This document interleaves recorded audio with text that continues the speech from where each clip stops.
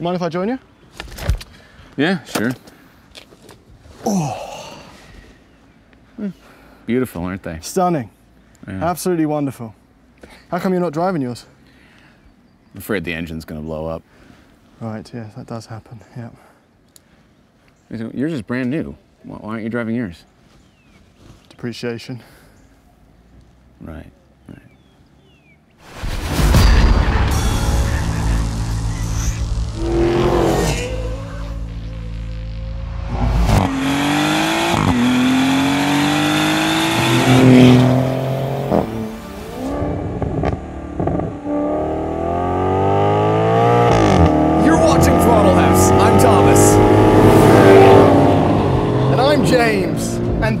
is the brand new Maserati Gran Turismo Trofeo. But why would you buy that when for literally a tenth of the price, you can buy one of these? That's a rhetorical question. Please don't answer it.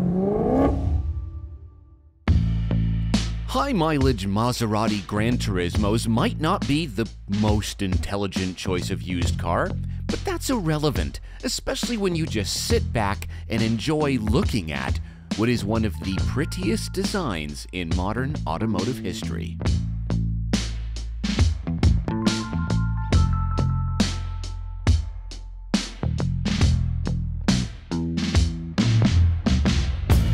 Okay, we joke about how this is potentially going to break and then it's going to... Can you to just, can I just enjoy it for a minute? Stationary. Yes, I just, I'm enjoying looking at it. So it. it's actually a real thing. Yeah. yeah. What what actually goes wrong with this? Just, just, can I just, one second? No, it does look good. No, for good. Okay, listen. there are quite a few things that these cars are. No- There's a Uh, reason. give us the highlights. Yeah. Um, all right. Well, one of the big ones is a little coolant hose that i- it's kind of down underneath there, and it will very often crack because of heat, and then dump the coolant all over the ground. It's it's a cheap part though. It's like 300 bucks. So fixed for 300. No, you have to remove the transmission to get to it. Right. Um, yeah. What's the saying? If you can't afford an old new car, you can't afford the old car. Yeah, this is one of those. Well. Um, so, well, there's this cam variator issue. It's like the variable valve timing. Right. And that's very much a top end engine dismantle to to fix that. very as well. expensive. Very also very expensive. Yeah. Other than that, there's just a long list of things. Long list. Yeah. Okay, so that's Yeah. the highlights. Yeah. Well, I mean, this one has one of the actual issues. Oh, it does. Yeah. The, so a very common fault is that the, the the airbag light will come on on the dash, and it means the airbag on the passenger side is not working. And this has that. Yes. Cheap to fix. Well, yeah, see, the people that own the car currently took it to Ferrari and they diagnosed it for a thousand bucks. Done. No, no, that was the diagnosis. The repair is fourteen thousand, Right. which they didn't do. Okay. Well, you know what? I think go drive it, figure it out, and Yeah, I'm uh, just gonna enjoy it for another moment here, stationary. You know? Yeah. you're worried if you drive this, it will break, and this video ends before we even started. Yes. Yeah. Yeah. Why don't you go first? Yeah. Okay. Yeah, I'll you drive the new one. Yeah. Okay. I'll just reinstall this. It's pretty easy. Oh no. Oh no.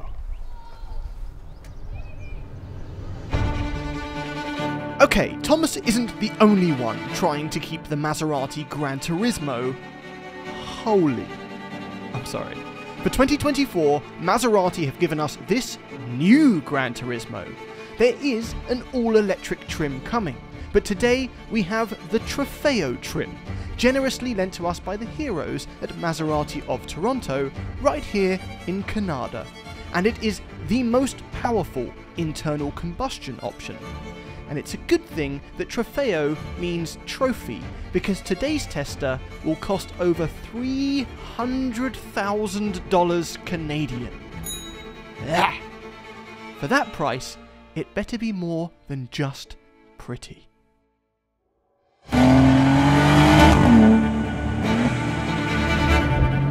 Okay. Here's the excellent news. This new Maserati Gran Turismo Trofeo is great. And the only reason that's a surprise is because we've lost the old Maserati V8, the thing that makes Maseratis Maserati in my mind. This instead gets the twin turboed V6 Nettuno engine. And if that's a familiar name, it's because it's the same engine that's in the mid-engine supercar, the Maserati MC20. Except this doesn't make quite as much horsepower. This is 542 horsepower in this spec. There's a Modena below it, which is in the 400s. So this is really the one you want. Three and a half seconds to 60, and it's all-wheel drive, so it puts that power down no problem. Sound is a big question mark when you lose a V8, and in the MC20, this same engine made the most ridiculous ensemble of turbocharged sounds. Boost sounds, spooling sounds, wastegate flutter. This actually has none of those. What it has is actually a very lovely sound, and it cracks on upshift. I was ready to be disappointed.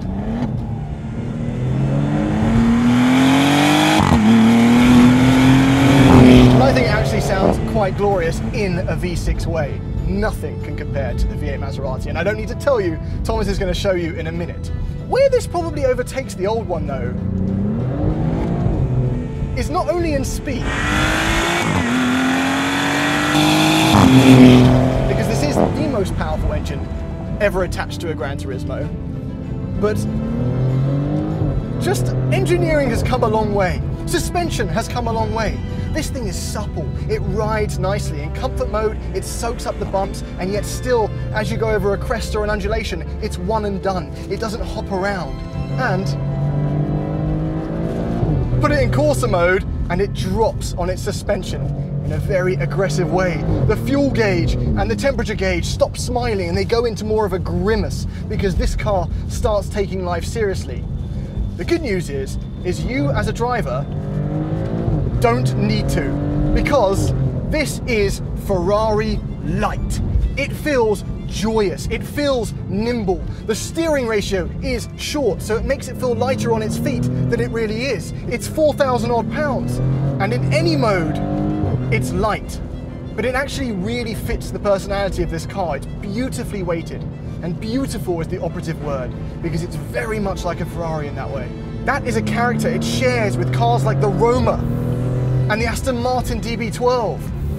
And it's a characteristic we love because it makes it feel so sporty. I mean, this is a Grand Tourer. It's supposed to be beautiful and supple and comfortable, and it is. And then you put it into Corsa mode and you take a turn like that, and suddenly you are in a riotous sports car with column mounted shifters that feel so satisfying with this DCT. I have loved this car. It's it's it's great. It's so great. Is it a three hundred thousand dollar experience? No, it's not. No. I- no, it's not. But here's the thing about Maseratis. For better or worse, they never really hold on to that number, do they? Speaking of which, I think it's time for Thomas to drive the uh, Maserati Gran Turismo Already Depreciationale.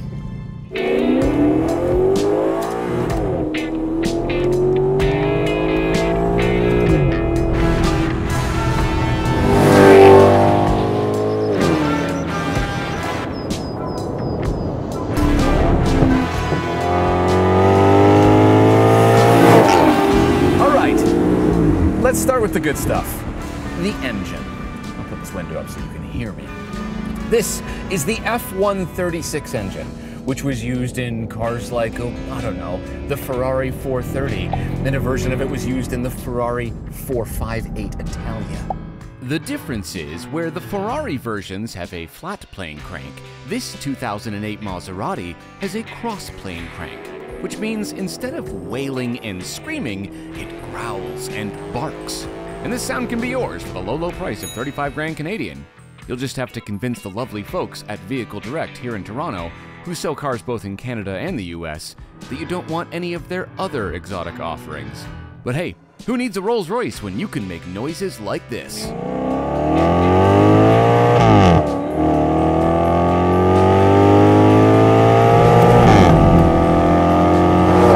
And the sound is so good that right now it's distracting me from the fact that the air conditioning isn't working in this car. the transmission is a ZF 6 speed. You could get an F1 style gearbox in this with the really fast shifts. This one's probably a bit more reliable. But you know what? It's not really about the transmission. I prefer if you don't think about the transmission because the transmission in this one sucks. the shifts are really slow and it doesn't really give you much when you use the paddles. But I still use them anyway because I want to be in control of the sound that this car makes when you upshift. You see the trident in front of you, you click the paddle, and there's just this clap of thunder as Poseidon parts the seas. It's just such a symphony of noises. so deep and guttural. It is the reason you would buy this car. Because it just sounds so great. Oh my god. it ain't quick. It's actually I would I would go so far as to call it slow. Uh, 399 horsepower, 339 pound-feet of torque. It is more about the sound than anything else. Yes. Go. Seven and a half thousand RPM and it shifts up for me automatically even though I'm in manual mode. But hey, as I said, it's about the noise, not the driver engagement because there isn't much. Steering is, well, it's hydraulic, so there's some feedback, but it is quite light. And uh, there's a huge amount of lag between when I turn this wheel and when something happens in the front. That said, the rest of it is is nice. It has this Italian feel to it. That is, it feels low and it feels sleek.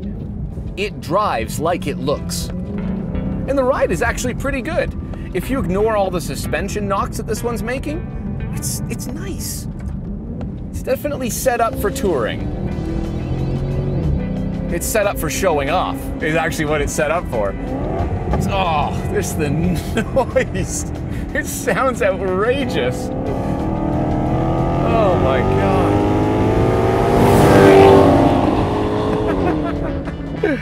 I'm really overheated. Okay. Whew. Well, the good news with all the sweat is that I'll have my hair slicked back, so I'll fit in at the next Maserati owners meet. yes. Make noise, be obnoxious. This is the Maserati way. Before we pulled over to compare how much the styling has changed, or hasn't changed in 17 years, James and I hopped in each other's cars for a brief drive. This does drive very well. Doesn't it? Yeah, I actually, I actually very much enjoy it. The problem is, the problem is, is that it has a V6, and for how much money? Three hundred thousand dollars. Three hundred thousand dollars. Yeah. Just off the top of my head, here's a few cars that give you a slightly more exciting driving experience. Oh, I don't know. How about the MC20? Which is yeah. the mid-engined version of this, the one that is a supercar With more horsepower. with more horsepower. I think I'd take that. I think I would take an Aston Martin DB12 with a twin turbo V8. Fair enough. Yeah. Uh, what else we got here? Uh, McLaren Artura. We just gave that a go. you could get a McLaren Artura. For It's the not. price It's not exactly a touring coupe, but it's No. It but is similar price. How about a 911? Wait, what 911 can you get? Turbo S. You get a Turbo S. You get a okay. Turbo S. Okay, actually, this is more fun to drive than a Turbo S. Yes, Yes. but it depreciates really hard. And there's actually going to be one above this. Yeah. Which is the Folgore. The Folgore. I, I, I realize I will butcher that however I say it. Yeah. 'Cause if I just go Folgore. Actually, I'm not sure it's above. It's more like lateral because it's an EV. Yes, but it's getting bonkers horsepower and Yes. it does 0 to 60 in two and a half seconds. That's very cool, actually. So Yeah. yeah, tri-motor. But yeah, no, definitely, uh, it's definitely expensive. This yeah. drives how that looks. you know, Yes, does. yeah.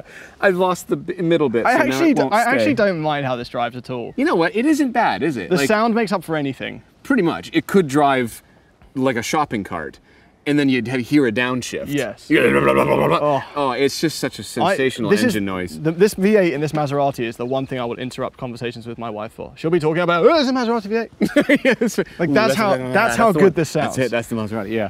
No, it is. It is a. Oh, it's, it gets fingerprinty very quickly. yes. What? Yeah, we've got them both in black today. Yeah. Undeniably, this is a later version of that. No, I- they, they did a fantastic job Yeah. capturing this thing and making it with the new Maserati design language because it's got the MC20 kind of headlight design. yeah, and then this this dip in here. Yeah. I mean, 16 model years separate these two cars.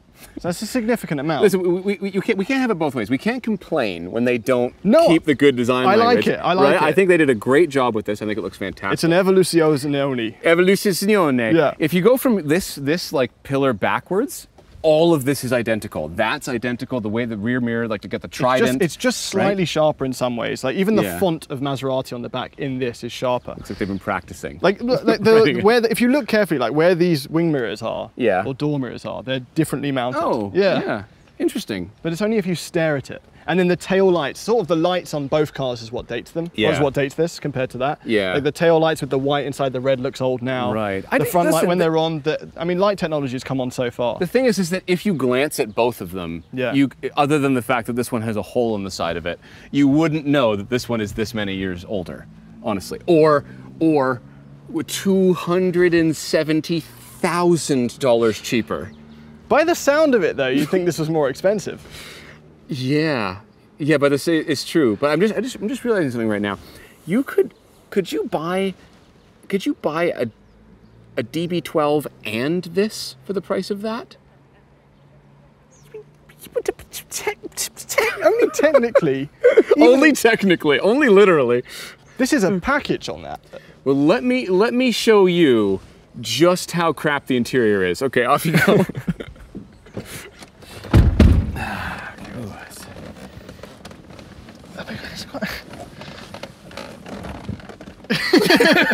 I feel like we're in a, a really badly built tree house at the top of a very tall tree.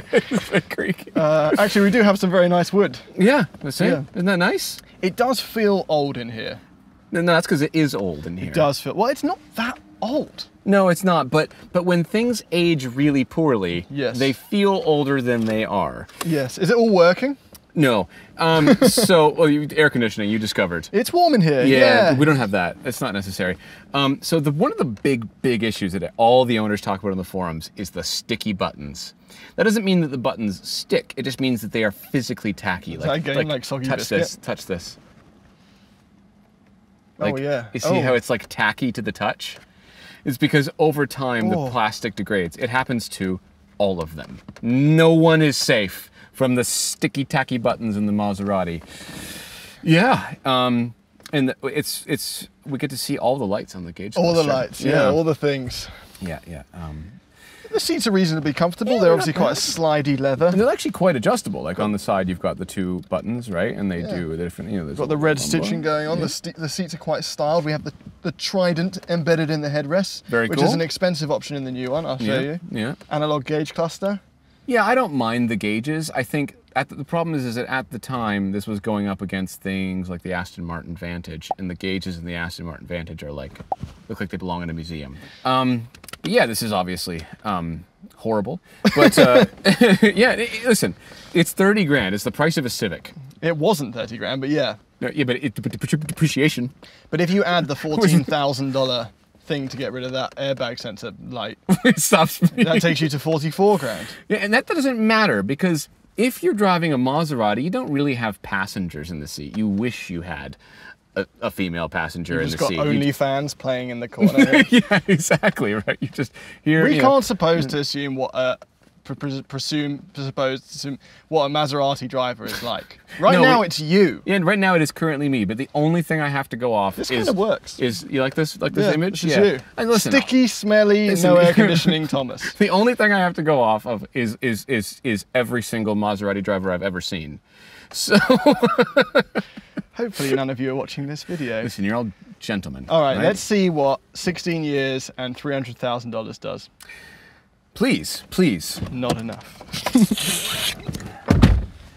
Oh yeah, no, this is nicer. It is a lot nicer. Yeah. I got cooled seats Yeah. cooling me down. Air conditioning works. Yes. You know, if you look for it, Mm-hmm. there are some places mm-hmm. where maybe, mm-hmm. you know, No, no, no, no, no. This is how it's supposed to be. It's an Italian car. Yeah. Right. Like we, w there, there must be flaws. There must be flaws because I need to know, James, that they have prioritized things like sound, driving, and the way it looks on the outside. And they have. I would be worried if it was put together really well in here. Yes, because then, well, then, if because if it was that, they could charge three hundred thousand dollars for it. But we've got a five thousand dollar Sonus sound system in here, Okay. um, which is quite good. Yeah. Uh, other comforts, we've got these nine hundred dollars. I said the Tridents in the headrests. That's a nine hundred dollar option. That's not that bad. No, we've got macro twill carbon fiber, which is like three grand.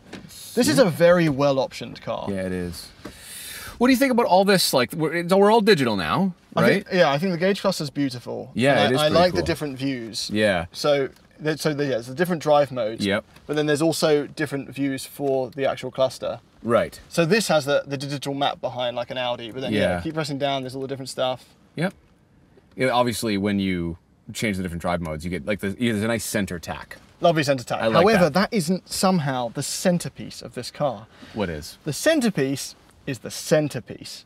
Ah, I The see what you did timepiece in the center. So Used that- to be analog. So it's analog in the one we were just sitting in. This yeah. is a digital version of, a, uh, of an, an analog clock. Yes. However, if you go to clock down here, Yeah. you can change it. So that's the clock mode. Okay. And then so there's three different clocks. There's classic, Oh. Sport. You as a watchman. Oh, that is really good. And then design. I really like that. So you Look how can. smooth the second one is. And good to design. It's very smooth, right? Yes. Um, By design, it means no design at all. no, this is this minimalism, is but- really nice. Then you can choose compass, pedals. What do you mean pedals? You foot off the brake. Oh. Yeah, Oh, yeah. whoa! And then a G meter. And a G me- All up there. that is brilliant. I actually prefer that to, That's brilliant. to Porsche's uh, Sport Chrono. I think it's more fun. No, it's more fun. You get to change it, Yeah. right? Like I love the fact that they've kept the clock, the Maserati clock, but they're like, you know what? It's the modern world. Yeah. Let's digitize the crap out of this and give you some options. And uh, the, so the split screen here, this is very new Audi style stuff. it is. Uh, yeah. But it works because the HVAC's down here and your seats are down here with the ventilated. Yep. And then all your other stuff is up here.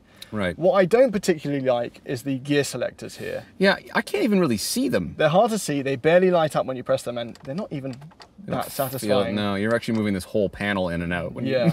and then There's, a vol- there's no volume knob, This is this is the sake. crime that the Honda Civic made years ago, which is instead of a volume knob, they do a slider on a thing. What, what, what, when, when are you all going to listen? When are you going to listen? No one. No. No one likes It-. Thomas, it's okay because it's a Chrysler. So. Um, Oh, you- sorry. you Yeah, the- we've got, we've got the just like a Dodge Challenger. You've got the You buttons on the back of the steering wheel. Okay, Yeah. of course you do. Yeah, got Uh, the drive yeah. button, the sport button. They all feel a bit plasticky, Yeah, they do. That's but okay. it is very nice in here. I think It's comfortable too. It is comfortable. The, the seats feel a bit stiff, but I've done a long drive in this and it's Been fine. absolutely fine. Okay. Visibility's good. Yeah. No, no, no. The, from in here, it actually after driving it and being in here and seeing this little cool clock thing, this feels like a two hundred and fifty thousand dollar car if it didn't have a V6, right? Like, in You think the- at the- the 250? thing- I feel like it feels 150 in here. it feels 150 in here, but if you had a big belching, farting V8, Oh yeah, you could do another 50. right? That's I mean, it would it would bring it up. I just think that with what's out there right now in that price bracket, like there's just so many other options. Yeah, because I, I was thinking, well, you know, if you, Seriously. if you actually think about it. I it, have an F-Type R over this. what, uh, F-Type R, Yeah, yeah, right? But if you actually think about it, cars that offer this le- level of comfort, technology, 0 to 60 time, confidence, and beauty, Yeah, There's quite a few options, There's quite a yeah. few. There's the There's quite- DB12. There's a like the few GT3. There's the yeah. you have to really like Maserati. Yeah. And if you if you want if you buy the old one, you have to really like pain. So I think for 30 grand, it's a lot of car. it is. yeah. Um, And I think for this, yeah, if you I'm just gonna engine swap this one. with that one. Yeah, just I don't care about the speed or the all-wheel drive. Are you curious? the noise. Are you curious about the Folgore? No. Um. anyway, so So very nice car. yeah, Beautiful. I am actually curious about it. I would like to see what they can do. Um, listen, It's another thousand pounds of weight. this is already a heavy car. Okay. Eh, It's middling. I I I like Maserati. I've always liked the style, and it's just one of those. This is a this is a crime of passion. Right. Buying this car, it's a crime because it- it just doesn't make financial sense. But it is a crime of passion. But if you're the second buyer, second-hand crime of passion, what's that look like? well, because this is 300 new. Yeah, yeah. So it, it'll be fifty grand in two years. Yeah. it's just wait. Actually, that one took 16 years to drop to it did. 35. so Yeah. Canadian, by the way. That's like Yeah, yeah. yeah, 28 US. something like that. yeah. Okay, so let's do a conclusion to wrap up our thoughts because this is an interesting old versus new. It's been quite fun, actually. Really fun. Really Yeah. enjoyed it. In many of our old versus new episodes, we've found that the old sports car is more pure, more engaging, and then the old luxury cars are often just old. And Maseratis, like Astons, are as sporting as they are luxury. So, by that measure, this should be a mixed bag. But it isn't, for the most part. Yes, we've lost the V8 sound, but the interior is finally modern. The car is absolutely rapid, and it still feels rear wheel drive despite powering all four wheels. The suspension is more sophisticated, the car is now lighter, and perhaps most importantly, it still looks like a proper Gran Turismo. Price aside, and we must put price aside, all of that is very commendable. The old Maserati is old. It's worse in every way. Except one. That new Gran Turismo might be faster and lighter and more luxurious, but when one of those echoes off the urban landscape, no one is going to interrupt their spouse's story about how work is going to say, shh, do you hear that? That's a Maserati. And that probably still isn't worth all the ownership headaches of the old one. But what if I don't know where I'm going with this and we just edit engine sounds over top of.